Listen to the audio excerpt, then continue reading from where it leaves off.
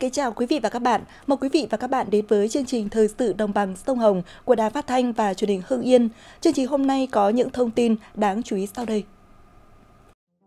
Toàn tỉnh Hải Dương có 4 xã tái phát bệnh dịch tả lợn châu Phi. Huyện Yên Khánh, tỉnh Ninh Bình đẩy mạnh sản xuất nông nghiệp theo hướng hàng hóa. Hành trình xanh về với đại hội tại Hưng Yên. Thái Bình là 12 tỉnh thành trong cả nước được lựa chọn thí điểm bộ tiêu chí ứng xử trong gia đình. Sau đây là nội dung chi tiết. Thưa quý vị và các bạn, với việc đẩy mạnh tái cơ cấu ngành nông nghiệp, thời gian qua sản xuất nông nghiệp của huyện Yên Khánh, tỉnh Ninh Bình đã từng bước phát triển theo hướng sản xuất hàng hóa, góp phần tăng năng suất và chất lượng, hiệu quả cơ cấu chuyển dịch theo hướng tích cực, giá trị sản xuất trên một hecta đất canh tác được tăng cao, các hình thức tổ chức sản xuất tiếp tục được đổi mới. Với chủ trương phát triển nông nghiệp theo hướng sản xuất hàng hóa gắn với phát triển dịch vụ ở nông thôn, Yên Khánh đã tập trung chỉ đạo khuyến khích nhân dân chuyển đổi cơ cấu cây trồng vật nuôi, tích tụ ruộng đất, hình thành và phát triển các vùng chuyên canh, chuyển đổi mạnh mẽ cơ cấu giống, cơ cấu mùa vụ, đưa giống cây trồng có năng suất, chất lượng và sản xuất, đồng thời triển khai thực hiện có hiệu quả nhiều dự án, mô hình nhằm thay đổi tập quán canh tác, hình thành phương thức sản xuất hàng hóa như lúa chất lượng cao, sản xuất lúa giống, cánh đồng mẫu lớn, rau an toàn, trồng khoai tây trên đất hài lúa. Do vậy, giá trị sản xuất trên 1 hecta canh tác của huyện tăng nhanh trong những năm gần đây. Để phát triển nông nghiệp toàn diện theo hướng sản xuất hàng hóa, Yên Khánh tiếp tục triển khai và hoàn thiện các mô hình đã và đang thực hiện kêu gọi và tạo điều kiện cho các doanh nghiệp đầu tư vào lĩnh vực nông nghiệp, mở rộng vùng sản xuất chuyên canh, gắn sản xuất với công nghiệp chế biến, đáp ứng nhu cầu thị trường. Thực hiện đề án mỗi xã một sản phẩm, thời gian qua, huyện Phú Cử tỉnh Hưng Yên đã giả soát chọn lọc được 10 sản phẩm chủ lực trên địa bàn huyện tham gia đăng ký để hỗ trợ phát triển theo chương trình ô cốp. 10 sản phẩm của huyện Phú Cử đăng ký thực hiện theo chương trình OCOP gồm dưa lưới, dưa vàng, vải lai chín sớm, nhãn lồng, cam, nghệ vàng, nước mắm, cá thịt cá giống, cà da, chạch lợn thịt. Đây đều là những sản phẩm chủ lực độc đáo, mang đậm nét đặc trưng của mỗi địa phương. Trong đó huyện đã chọn 3 sản phẩm tiêu biểu nhất và đúng thời vụ từ nay đến cuối năm để tham gia đánh giá xếp hạng của tỉnh, gồm dưa lưới, dưa vàng của Hợp tác xã An Tịnh Phát, xã Tông Trân, cam của Hợp tác xã Nông nghiệp Ngũ Phúc, xã Tam Đa và cá thịt cá giống của Hợp tác xã Thủy sản Hưng Phát, xã Quang Hưng – Tất cả các xã có sản phẩm chủ lực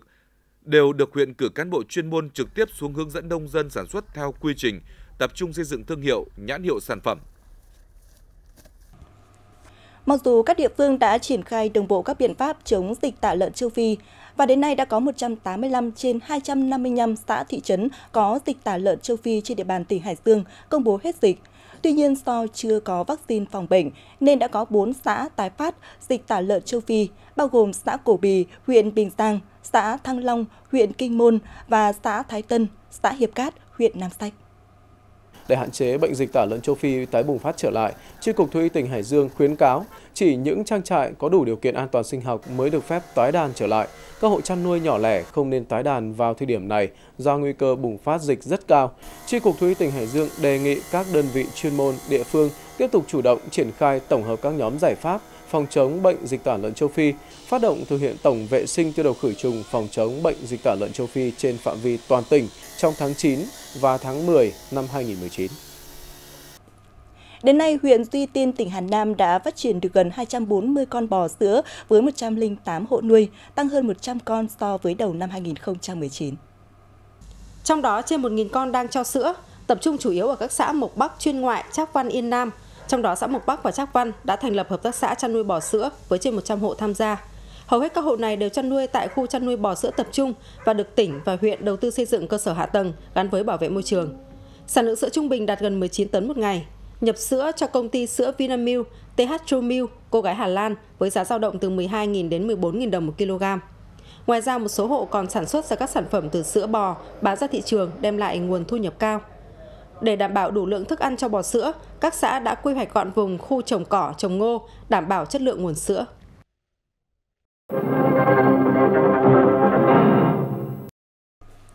Thưa quý vị và các bạn, ngày 25 và ngày 26 tháng 9, 250 đại biểu, những gương mặt xuất sắc đại diện cho trên 81.000 thanh niên trên địa bàn tỉnh Hưng Yên sẽ tham dự Đại hội Liên hiệp Thanh niên Việt Nam lần thứ 5, nhiệm kỳ 2019-2024 tại Trung tâm Hội nghị tỉnh Họ là những thanh niên tiêu biểu ở mọi lĩnh vực, đại diện cho ý chí, sự sáng tạo, bản lĩnh của thanh niên Hưng Yên trong thời đại 4.0.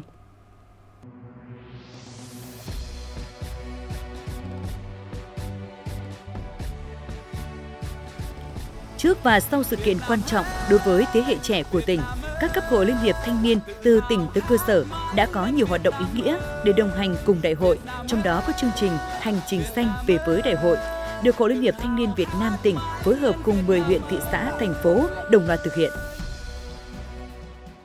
Những đại biểu ưu tú của Hội Liên hiệp Thanh niên Việt Nam tỉnh luôn thể hiện sự tri ân đặc biệt đối với những thế hệ thanh niên đã hy sinh vì sự bình yên, giàu đẹp của Hưng Yên nói riêng và đất nước nói chung. Hơn 200 đại biểu đến từ 10 huyện thành thị đoàn đã có dịp đến thăm, dân hương, dân hoa tại 10 địa chỉ đỏ trong tỉnh để một lần nữa được cảm nhận sâu sắc hơn những địa danh, những con người đã làm dạng danh quê hương Hưng Yên, Văn Hiến, địa linh nhân kiệt thì được tham dự hành trình xanh trở về với đại hội là một trong hoạt động là hết sức ý nghĩa, góp một phần nhỏ bé công sức của mình vào cái sự nghiệp chung của đất nước. Thì đây là hoạt động thực sự ý nghĩa à, giúp cho đoàn viên thanh niên của huyện Kim Động hiểu biết được về lịch sử và thứ hai là mục đích để giáo dục truyền thống đạo đức à, lối sống giáo dục nét văn hóa đẹp cho đoàn viên thanh niên hội viên trong toàn huyện Kim Động. Nắng tháng 9 dù đã rất trói trang, nhưng cũng không vì thế mà giảm đi sự nhiệt huyết của các bạn đoàn viên thanh niên. Tại các huyện Ân Thi, Kim Động, các đại biểu đã có dịp thăm hỏi và ôn lại những câu chuyện lịch sử cùng gia đình các mẹ Việt Nam anh hùng Đặng Thị Nhường, xã Vân Du, mẹ Nguyễn Thị Hồi, xã Toàn Thắng. Đồng thời, tặng những xuất quà ý nghĩa đến các mẹ Việt Nam anh hùng, những gia đình chính sách, những em học sinh có hoàn cảnh khó khăn trong suốt cuộc hành trình kéo dài tại 10 huyện thành phố, thị xã trên địa bàn tỉnh. Đặc biệt, tại các địa chỉ đỏ như cây đa Sài Thị, cây đa La Tiến, đền thờ ỉ Lan, miếu thờ bà Bùi Thị Cúc, kỳ đài Bắc Hồ, nhà lưu niệm Tổng bí thư Nguyễn Văn Linh, nhà bia tưởng niệm tướng quân Nguyễn Thiện Thuật, nhà lưu niệm liệt sĩ Tô Hiệu, các đại biểu đã được nghe kể về những năm tháng lịch sử, sự hy sinh anh dũng của lớp thế hệ thanh niên đi trước cho sự phát triển và đổi mới của tỉnh Hưng Yên nói riêng và đất nước nói chung. Đại hội Hội Liên hiệp Thanh niên Việt Nam tỉnh Hưng Yên lần thứ 5, nhiệm kỳ 2019-2024 là sự kiện có ý nghĩa quan trọng, góp phần tạo chuyển biến tích cực trong việc tập hợp đoàn kết thanh niên, nâng cao chất lượng tổ chức hội để xây dựng quê hương Hưng Yên giàu đẹp, văn minh. Cảm ơn Thư viện nhỏ là dự án được hỗ trợ bởi Bộ Văn hóa Thể thao và Du lịch Hàn Quốc thông qua nguồn vốn ODA. Tại tỉnh Nam Định, dự án được triển khai ở huyện Trực Ninh trên tinh thần truyền tải những kinh nghiệm phát triển văn hóa và giáo dục của Hàn Quốc, đồng thời khuyến khích văn hóa đọc phát triển ở Việt Nam. Tại trường trung học cơ sở Đào Sư Tích, thị trấn Cổ Lễ, huyện Trực Ninh, thư viện được phía Hàn Quốc đầu tư trang bị mới hoàn toàn về cơ sở vật chất với khoảng 6.000 cuốn sách, bao gồm sách bắt buộc do Bộ Giáo dục và Đào tạo Việt Nam tham vấn và các tác phẩm văn học Hàn Quốc được dịch sang tiếng Việt, cùng hơn 100 tài liệu đa dạng khác giúp các em học sinh tiếp xúc với văn hóa Hàn Quốc. Ngoài ra, để mở rộng không gian văn hóa cộng đồng, thư viện được hỗ trợ lắp đặt hệ thống máy tính, màn hình và máy chiếu. Dự án Cảm ơn Thư viện nhỏ được triển khai tại ba trường trung học cơ sở ở huyện Trực Ninh là Trực Nội, Trực Hưng và Đào Sư Tích với khoảng gần 1.000 học sinh đang theo học. Thư viện thực sự tạo ra một không gian mở, thân thiện với tất cả học sinh, kích thích tinh thần đọc sách của các em. Việc xây dựng các hệ thống thư viện trường học với các tài liệu phù hợp, phong phú đa dạng và các hoạt động khuyến khích văn hóa đọc sẽ giúp hình thành thói quen đọc sách cho học sinh ngay từ khi còn ngồi trên ghế nhà trường. Tại Việt Nam, dự án Cảm ơn Thư viện nhỏ đã được triển khai tại 14 trường trung học cơ sở. Nhân dịp này, đại diện Bộ Văn hóa Thể thao Hàn Quốc đã trao giải cho các em học sinh đạt giải vẽ cổ động về đọc sách. Vụ Giáo dục Trung học, Bộ Giáo dục và Đào tạo trao giải viết văn tự truyện về tương lai của em cho các em học sinh. Câu lạc bộ sách và hành động ở trường Trung học phổ thông Hưng Yên được thành lập từ năm 2017. Đến nay có gần 20 thành viên. Hiện số đầu sách mà câu lạc bộ sở hữu là trên 500 cuốn, chủ yếu là sách về văn hóa, kỹ năng sống, nuôi dưỡng, tâm hồn, hướng nghiệp, kinh tế, giáo dục. Để có được số lượng sách ấy là sự cố gắng không nhỏ của các thành viên trong câu lạc bộ. Các em đã trực tiếp đi nhặt giấy báo, chai lọ nhựa hoặc tranh thủ thời gian rảnh để làm đồ ăn, nước uống, đồ dùng học tập, bán lấy tiền gây quỹ. Khi đã có một nguồn quỹ tương đối, các thành viên trong câu lạc bộ tìm đến những hội chợ sách, những trang bán sách online để có thể tìm được những cuốn sách hay phù hợp với lứa tuổi và có thể được khuyến mại về giá thành. Câu lạc bộ thường xuyên tổ chức những ngày hội sách hay những chiến dịch đổi sách lấy cây. Ngoài việc trưng bày, các thành viên còn giới thiệu những cuốn sách mới bổ ích. Qua đó thu hút được sự quan tâm của đông đảo học sinh và các thầy giáo cô giáo trong trường cùng tham gia đọc sách huyện Lý Nhân, tỉnh Hà Nam tổ chức hội thi Em yêu lịch sử quê hương lần thứ hai năm 2019. Tham gia hội thi có 96 thí sinh đến từ 24 trường trung học cơ sở trong huyện. Các em dự thi qua 3 vòng thi với 30 câu hỏi về lịch sử Việt Nam, lịch sử quê hương Hà Nam, cuộc đời thân thế sự nghiệp của hưng đạo đại vương Trần Quốc Tuấn và di tích đặc biệt đền Trần Thương. Do được chuẩn bị chu đáo nên các thí sinh đã trả lời tốt các câu hỏi của ban tổ chức đưa ra. Hội thi nhằm tạo điều kiện giúp các em học sinh tìm hiểu về lịch sử dựng nước và giữ nước của dân tộc Việt Nam, trong đó có lịch sử nhà Trần, góp phần nâng cao lòng yêu nước, tự hào dân tộc. Thông qua hội thi góp phần đa dạng hóa các hình thức học tập và tìm hiểu lịch sử Việt Nam, tạo môi trường học tập lành mạnh, bổ ích, giúp học sinh hứng thú với bộ môn lịch sử đang học trong nhà trường. Cùng ngày, ban tổ chức cũng tổ chức hội thi làm cỗ dỗ Đức Thánh Trần năm 2019, thu hút đông đảo nhân dân tham gia. Mỗi người đều có lý do để lý giải cho sự bận rộn, ít quan tâm đến gia đình của mình. Nhưng chính sự sao nhãng đó đang khiến tình cảm gia đình nhạt dần đi. Nếu các thành viên trong gia đình mâu thuẫn, xung đột, bạo lực gia đình tăng, thì gia đình khó có thể làm tốt chức năng giáo dục. Các thành viên trong gia đình khó hòa thuận, hạnh phúc. Vậy đâu là giải pháp để giải quyết vấn đề này? Thái Bình là một trong 12 tỉnh thành của cả nước được lựa chọn thực hiện thí điểm bộ tiêu chí ứng xử trong gia đình – khi địa phương triển khai bộ tiêu chí, gia đình ông Đinh Văn Khuyên, phường Đề Thám, thành phố Thái Bình là một trong những hộ tích cực hưởng ứng thực hiện. Cái đầu tiên là trong cuộc sống của hòa thuận. Đấy, bố mẹ là phải làm sao là đúng với trách nhiệm của bố mẹ, dạy bảo, chỉ bảo con cái và con cái phải có cái xu hướng phấn đấu vươn lên. Ngoài tiêu chí ứng xử chung là tôn trọng, bình đẳng, yêu thương và chia sẻ, Bộ tiêu chí ứng xử trong gia đình còn có các tiêu chí cụ thể về mối quan hệ giữa vợ và chồng, cha mẹ và con cái, ông bà và các cháu, anh chị và em, với mong muốn nâng cao giá trị chuẩn mực đạo đức, văn hóa ứng xử, mối quan hệ của các thành viên trong gia đình. Nếu như mỗi một con người chúng ta được sống trong các gia đình, trong các cộng đồng xã hội mà ngập tràn ờ, một cái tinh thần nhân văn, uh, tràn đầy cái uh, tinh thần yêu thương uh, vì con người, uh, vị tha thì chắc chắn uh, cái uh, xu hướng uh, tội phạm những hành vi lệch chuẩn à, sẽ bị đẩy lùi. Trước thực trạng nguồn rác thải ngày càng nhiều, Ủy ban Nhân dân thị trấn Gôi, huyện Vụ Bản tỉnh Nam Định đang triển khai dự án ứng dụng tiến bộ khoa học và công nghệ xây dựng mô hình thu gom và xử lý rác thải sinh hoạt một cách có hiệu quả trên địa bàn thị trấn Gôi. Sau một thời gian triển khai, dự án đã phát huy được hiệu quả. Khu đất này là bãi trôn lấp rác thải của thị trấn Gôi, huyện Vụ Bản. Tính trung bình mỗi ngày, các hộ tại thị trấn Gôi thải ra môi trường khoảng 5 đến 6 tấn rác thải sinh hoạt, trong đó chỉ có khoảng 60-65% rác thải được thu gom và đưa đến bãi xử lý. Công nghệ được lựa chọn để triển khai dự án chính là lò đốt rác thải sinh hoạt Losiho. Sản phẩm đã được Cục Sở hữu trí tuệ cấp bằng độc quyền sáng chế. Lò đốt rác thải sinh hoạt Losiho có 4 buồng đốt rác với hệ thống xử lý khí thải thông minh và an toàn – Lò đốt có thể hoạt động liên tục trong 24 giờ và đốt được tất cả các loại rác thải, kể cả rác thải có độ ẩm cao. Diện tích mặt bằng nhỏ, không lãng phí đất đai như các bãi trôn lấp.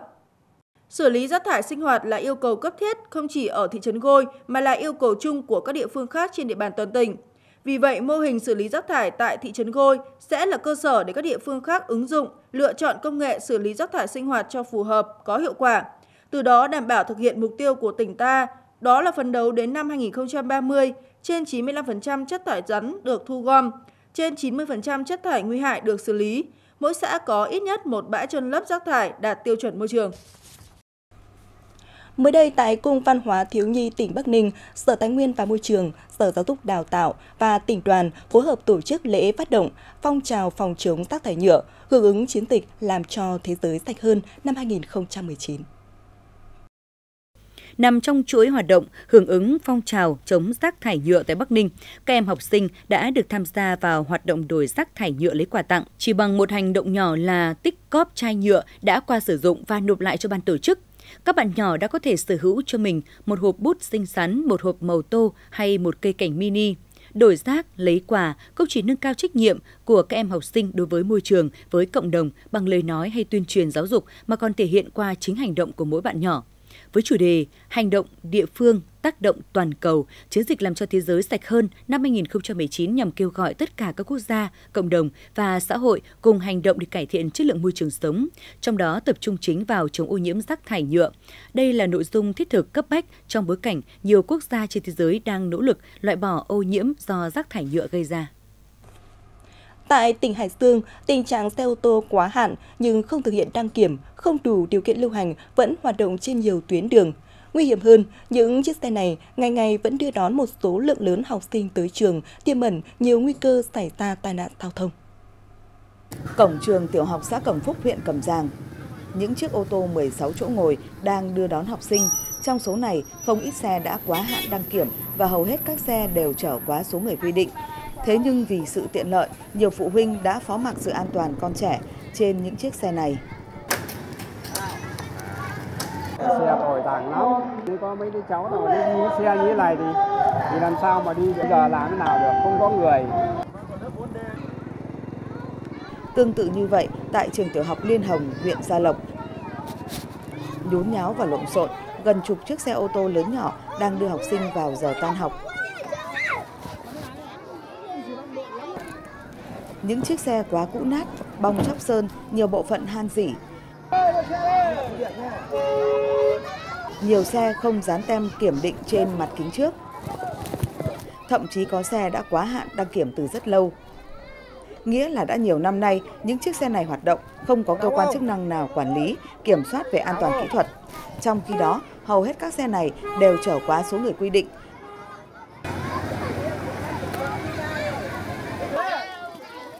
Còn đây là cách chủ phương tiện nhồi các học sinh trên một chiếc xe 16 chỗ cũ kỹ. Nhìn những hình ảnh này mới biết trên xe không còn khoảng trống nào dù là nhỏ nhất.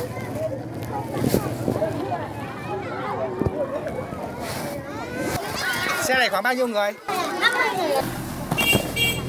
Trên địa bàn tỉnh còn rất nhiều ô tô hết hạn đăng kiểm chở học sinh như thế này và đã diễn ra từ nhiều năm nay. Để đảm bảo an toàn cho học sinh trong năm học mới, các cấp, các ngành cũng đã có nhiều giải pháp, đặc biệt là triển khai các văn bản chỉ đạo của Sở Giáo dục và Đào tạo tới tất cả các trường học về việc đảm bảo an toàn giao thông cho học sinh đến trường. Chúng tôi cũng yêu cầu các nhà trường là trên cái tinh thần là trao đổi với các phụ huynh để nắm vững cái quy định, đồng thời là cần ờ, hợp đồng với các nhà xe đảm bảo các cái an toàn theo quy định. Giải pháp đã có, nhưng thực tế nhiều ô tô không đăng kiểm vẫn đưa đón học sinh, tiềm ẩn nguy cơ mất an toàn giao thông. Thực tế nhiều vụ tai nạn giao thông thảm khốc từ những chiếc ô tô không đăng kiểm đã xảy ra và đã có trường hợp tử vong do bị bỏ quên trên xe ô tô đưa đón học sinh.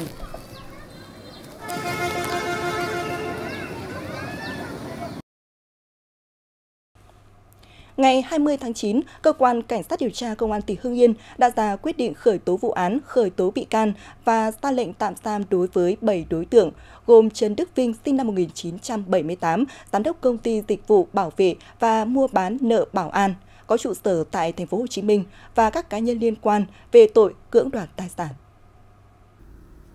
Theo đó, tháng 6 năm 2016 và tháng 12 năm 2016, công ty cổ phần cơ khí Ngô Gia Tự bán cho công ty trách nhiệm hữu hạn thương mại ô tô Trường Xuân ở Hà Nội 23 xe ô tô nhãn hiệu Universe Noble với giá gần 55 tỷ đồng.